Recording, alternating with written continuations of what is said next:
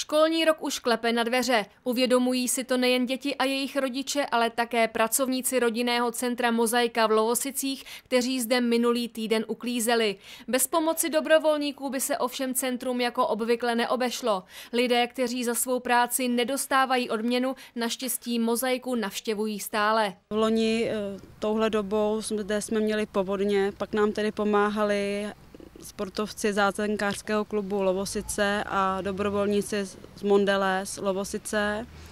A letos jsme tedy využili nabídky firmy Lafarge Číškovice. Jsme velmi rádi za pomoc dobrovolníků, protože přece jenom máme malé děti a těmi je obtíž najít si čas, uklidit, umít okna. Přestože oblíbené kurzy pro rodiče a děti o prázdninách neprobíhaly, Mozaika nezahálela a uspořádala hned tři příměstská hlídání. O pět dní, které se letos nesly v indiánském duchu, byl mezi rodiči podle očekávání velký zájem.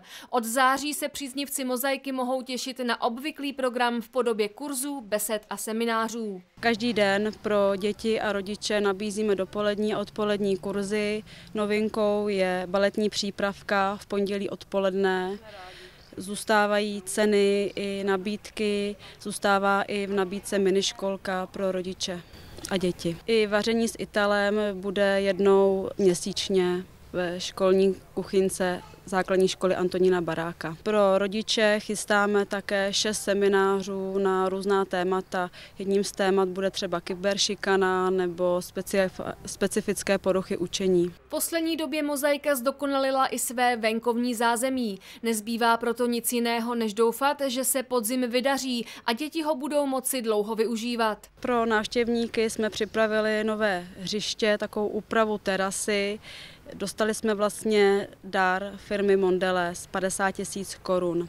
Z toho jsme vybudovali herní prvky, lavičky, vybudovali jsme své pomocí tady dřevěný plot, který jsme vlastně plaňkováním s dětmi společně nabarvili. Rodinné centrum Mozaika bude i v letošním roce provozovat Ekosat v Malých Žernosekách, ve kterém každoročně pořádá hned několik akcí. Samozřejmostí je také fungování místního rodinného centra. To v provozu bude každé úterní dopoledne.